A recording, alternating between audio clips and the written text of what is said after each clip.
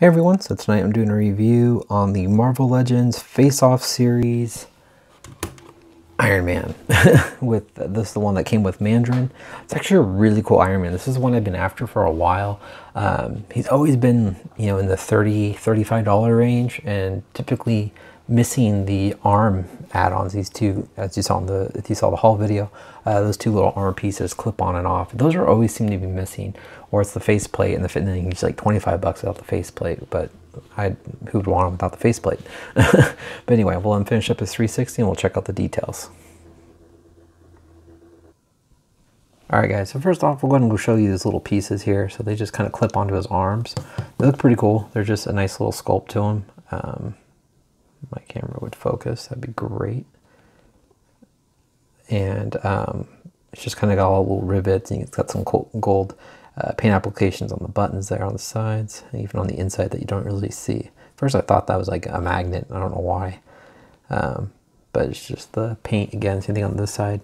It's got the paint on this side, a little bit of a smaller uh, arm piece, and they are designated to the same, or not to the same, but to different arm pieces. The triangles are a little bit uh, shape a little bit different, so you can see. But anyway, you can see on the arm, which is nice they painted this yellow, so in case you didn't want these little add-on pieces on, it doesn't look like just like a bare uh, red bulge right there. And they actually gave it some detail, so those just kind of press on there.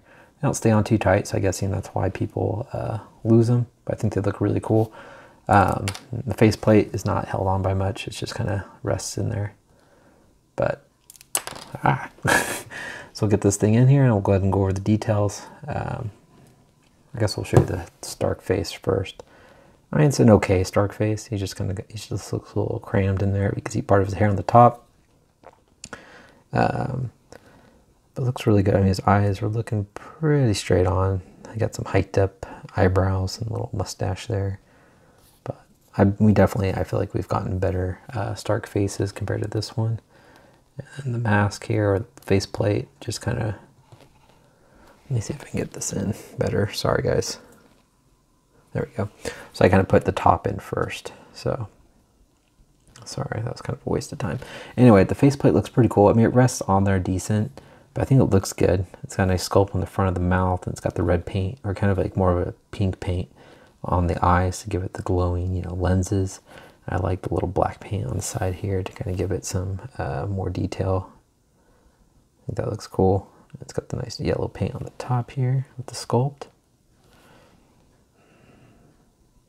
I think that looks good. But you can't see the gaps in the mask. But overall, I mean, it's a cool looking Iron Man uh, head sculpt. I really like it.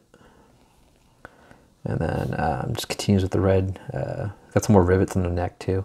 But continues with the red paint on the chest area. Um, I just think that looks really good. And then got the gold arc reactor. It's just a very classic looking uh, Iron Man to me. And the body here is just more of a very bright, flat yellow. But I think it looks really cool. And then continue down the forearms here on the gloves, it's just red. You can see those add-ons. Like I said, it's got the yellow on the triangle here. And then on his insides of his hands, you can kind of see a very tiny uh, repulsor. Very tiny, it's like a speck. Let's see on this side. Yeah, just a little speck. kind of wish that was a little bigger. Um, just because we're so used to the bigger, you know, just bigger ones. That's like almost like non-existent. Um, coming down here on the belt, it's got the gold uh, paint on the inside the belt here. It continues the black lining the, around the whole body. Those are all nicely sculpted. On the sides here, it's got the nice yellow paint on the suit. Same thing on this side. It's got nice yellow paint on the kneecaps. Probably you can see some more rivets on the legs here. It's got more of that yellow paint. So I mean, it's not like crazy like black wash, you know, suit of armor. Um, I just, I don't know. There's something about the way he looks. I just think this one looks really cool. It's like a mix of a classic look, but I don't know. There's just something about the suit that um, I really like. So I may be putting it with my main Avengers display for right now, just until um, I feel like I want to switch it back out. Right now I have uh, Extremis in there. So I'm going to go over the articulation before I ramble too much. Uh, he looks up about that much, so not crazy high for those flying poses. Looks down about that much. I'm surprised the faceplate hasn't fallen off. There it goes. Looks left and right. Wow, it went on the floor. Sorry about that. He looks left and right just fine. He's got ball joints in the shoulders. They move out. He's very tight. That's always good. Little pieces are falling off forward and back. It's got upper thigh, upper bicep swivel, double jointed elbows, uh, uh, forearm articulation along with the hinge at the wrist. The forearm articulation is the wrist articulation. He also has the hand clamp, so that's so you can make a fist, or you can make them kind of have a kind of an open palm. You get them marched up like that with this tiny little repulse blast. Uh, he has a nice clicky ab crunch still. He's got a waist swivel. It does not swivel the other way too much. Actually, that's kind of strange. Hmm. Yeah, does does not want to go the other way. It's got ball joints, so you can do fully the splits. You have to kind of rotate it and get it up and move the, the thigh swivel to get them to kick out. It's got upper thigh swivel, double jointed knees, uh, boot rotation. Ankles move down, they move up. He has this older ankle rocker, toe articulation, and on his feet. And he does have silver paint at the bottom of his, I mean, not silver, gold paint at the bottom of his boots for uh, flying around. All right, and cool. Sometimes these little, I don't know if you guys can see this, but the lining on the inside here, sometimes the glue gets loose on the old Toy Biz and the bottoms, of this whole piece will fall out. So I'll have like a little gap in there sometimes with the older figures, just something weird. That happens. But anyway, we'll show you guys how tall Iron Man is. All right, guys, so face off Iron Man stands a little, right at six inches tall.